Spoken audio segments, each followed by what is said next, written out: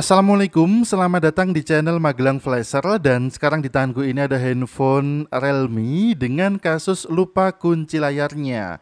Untuk serinya kita bisa cek dari menu panggilan darurat kemudian dial ke bintang pagar 899 pagar kemudian masuk ke bagian software version dan perhatikan modelnya adalah RMX 1821 jika kita cari di Google serinya adalah Realme 3 kita akan coba untuk menghapus kunci layar yang lupa ini cukup menggunakan kabel data saja. Namun bagi teman-teman sebelum mencoba cara ini silahkan gunakan recovery mode dulu, kemudian lakukan format data via recovery mode.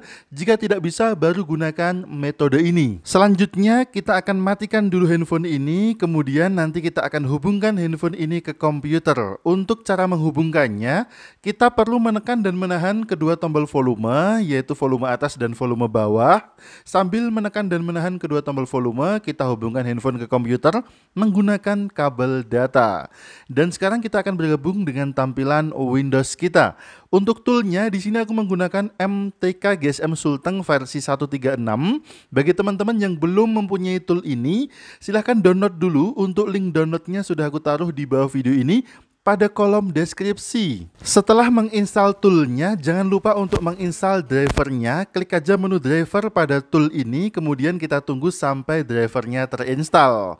Selanjutnya untuk eksekusi kita masuk ke menu Oppo dan kita cari modelnya yaitu Realme 3 bisa kita scroll ke bawah ke bagian Realme. Ini dia ada di nomor 2 ya, Realme 3. Untuk opsi resetnya di sebelah kanan kita gunakan format factory. Kemudian kalau sudah kita klik aja menu execute sampai muncul keterangan waiting for device connection seperti ini. Tinggal kita hubungkan handphone ke komputer sambil menekan kedua tombol volumenya. Tekan dan tahan volume atas dan volume bawah. Sambil menekan kedua tombol volume, kita hubungkan handphone ke komputer menggunakan kabel data. Jika handphone sudah terbaca oleh toolnya, lepaskan menekan kedua tombol volume dan kita tunggu sampai prosesnya selesai. Jika sudah muncul keterangan all is done, artinya format user data atau menghapus kunci layar pada handphone ini sudah berhasil. Dan sekarang kita akan coba untuk lihat hasilnya. Kita lepaskan dulu kabel data, kemudian kita nyalakan handphone ini dengan menekan tombol power sampai muncul logo Realme di layarnya. Kemudian kita letakkan handphonenya dan kita tunggu sampai proses loadingnya selesai.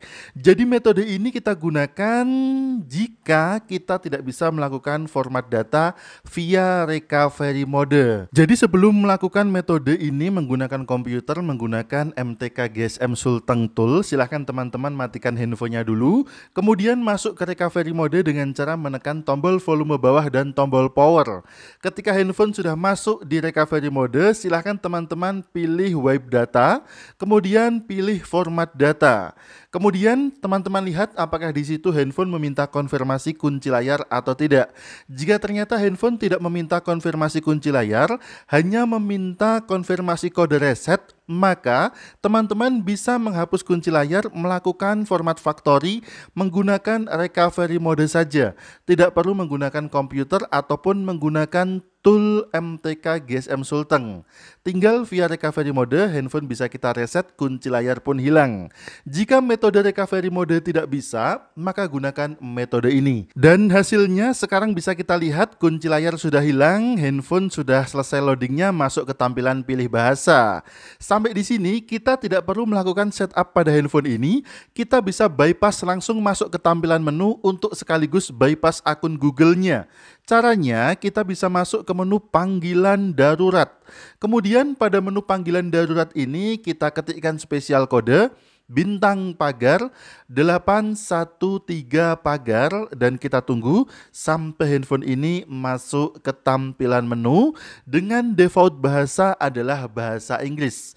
Teman-teman bisa mengganti bahasanya melalui menu pengaturan. Atau sekarang kita cek dulu aja ya, kita bisa masuk ke menu setelan atau pengaturan. Kemudian kita masuk ke bagian about phone, ini adalah Realme 3 dengan versi Android 10, versi Realme UI di 1.0. Oke, terima kasih sudah menyimak video ini. Mudah-mudahan bermanfaat. Sampai jumpa di video selanjutnya. Ingat tetap jaga harga servisan dan akhir kata dari kami. Wassalamualaikum. Tentu saja mantap jiwa jadi nota.